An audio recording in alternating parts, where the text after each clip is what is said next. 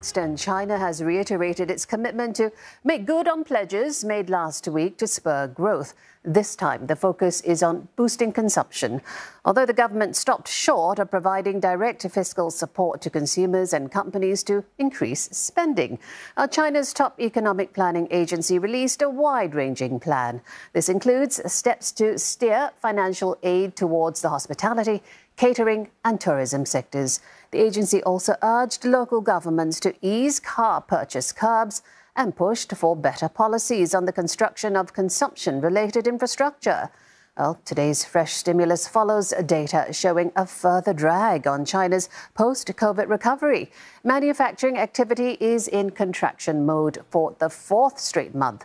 Service sector activity moderated as well. Well, let's get more on this. We have uh, Hao Hong, Chief Economist at Grow Investment Group. He joins us uh, live from Hong Kong. Welcome to the show. Now, they say that, you know, the devil is in the details, and China's various statements so far are lacking just that details. Now, add to that, there's no direct support for consumers with vouchers, for example. So, what will this uh, approach actually achieve economically? Yeah.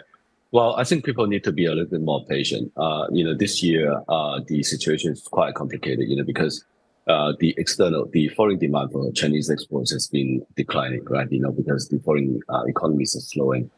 So, you know, China has to rely on uh, its own domestic demand, you know, for growth this year. But then, you know, property is still ailing, and also uh, the Chinese consumers, uh, after three years, three long years of pandemic, you know, they're trying to save hard. Right. So I think as a result, you know, we had a initial rebound uh, uh, of uh, domestic consumption in the first couple of months, and then you know we sort of uh, slowing down once again. Mm. So I think right now the the policy is coming from a very top high level and we should be able to see some more details in the coming weeks.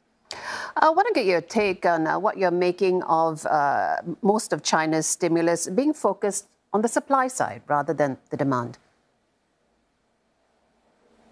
Yeah, I think um, because the uh, supply side is easier to pump, you know, because once you release um, uh, credit, and also, you know, right now, uh, because most of the most of the entities who, who are borrowing from banks are, are large, very large SOEs, right? So if you want to stimulate your economy, it's much, much easier to you know, stimulate from the supply side.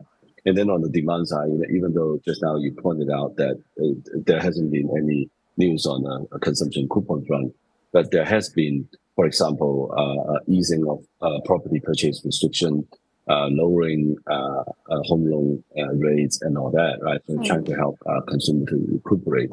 Uh, so it, it is not like you know we're not doing nothing, but it's just that you know it takes time uh, for the policies to show show effect, and also you know I think the the situation that we're confronting right now, you know, it's not something that we're very familiar with. Yeah. Now, you know, the rest of the world uh, struggling to tame inflation. China is at risk of falling into a deflationary trap that could make it even harder to spark that much needed growth. So, what are the top things that you feel China can do to stimulate growth?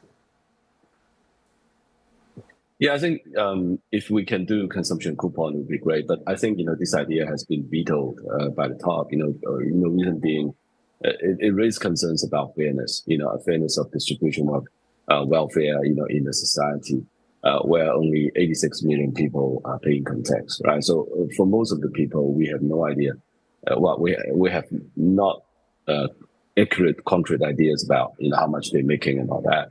Right? So it makes the uh, uh, consumption coupon distribution much more difficult.